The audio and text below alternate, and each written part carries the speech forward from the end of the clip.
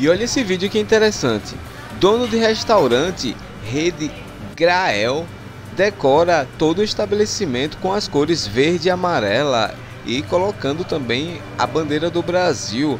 Ele fez uma promoção que aquele que comprar a partir de 50 reais leva uma bandeira do Brasil por apenas 10 reais em toda Rio e São Paulo. Olha só que legal. Que nota você dá aí para esse dono de restaurante? Você teria coragem aí de ir almoçar nesse restaurante decorado com as cores do Brasil?